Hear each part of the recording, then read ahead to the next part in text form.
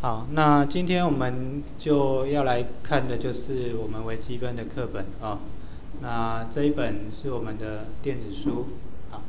那基本上呢，它不只是微积分的范围啊，它还包含了工程数学的范围啊。那我们会讲的主题啊，大概有微分、积分、函数逼近啊、泰勒展开式。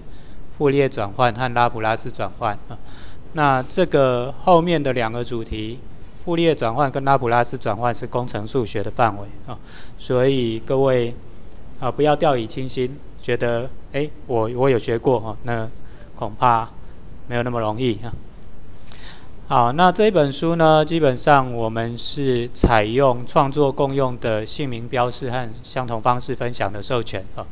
那各位可能不太了解这是什么意思啊。那我的书几乎都会用这种授权来授权。那我这本书其实有一些资料来源是在这一本啊 s i m Mark 的的电子书呃所所截取的一些内容和图片来的啊。那呃这里，OK 我。们先看一下这本原本的电子书啊。那这本电子书呢，呃，我参考了它很多东西，呃，所以呃，如果各位有兴趣的话，也可以把它抓下来看啊。那 PDF 的版本大概是比较容易看的啊，你可以按右键另存新档。只是档案有点大啊，所以你可能要下载一阵子啊。啊，不过哎，我们的还蛮快的，所以应该很快就好啊。那。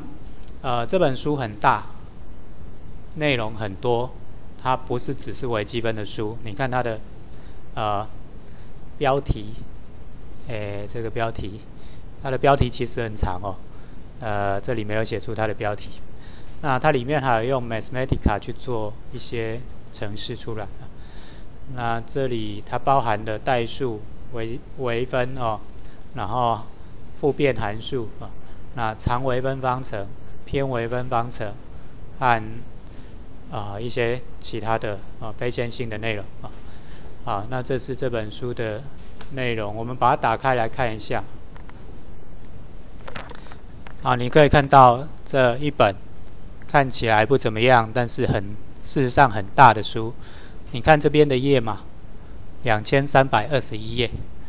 呃，当然我们不会把这本讲完啊。如果我把这本讲完的话，各位大概就可以直接从数学系毕业了哦，所以我们不会这样做。但是它很值得参考，是呃，第一个，它一开始就告诉你，你可以随便用，我放弃这本书的版权。OK，所以它很好用。好，那第二个是它。它基本上是一个呃博士生写的哦，所以呃，他你可以看到数学系的博士生写的哦，那所以他其实我觉得是蛮有趣的，而且他写的文笔是蛮好的啊。那他从一开始的代数开始啊，从代数开始啊，然后呢啊集合论。向量啊，再来呢才是微积分啊，然后就有啊微分啊微分积分啊，还有向量微积分啊，那再来呢是复数啊复变函数啊复数啊复函数啊，然后呢函数解析啊，然后函数的连续统。然后康托尔积分啊，和科西哥塞德定理啊，那你可以看到这些其实已经超越微积分的范围了啊，那已经到了复变函数的范围啊，那但是这些其实都是关联在一起的，所以他这本书其实写的其实是很有系统啊，他把很多啊数学里面连续的东西啊，通通都都放进来啊，所以你。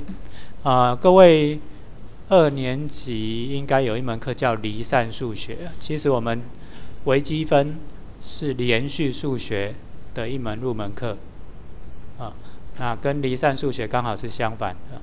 那离散是研究零一二三四这种东西，那微积分呢是研究啊实数，也就是零点零零零一啊这种东西啊，那是完全啊不同的数学走法。好，那因为休息时间，我们就先休息啊。那啊，待会上课我们再来继续哈，先休息一下。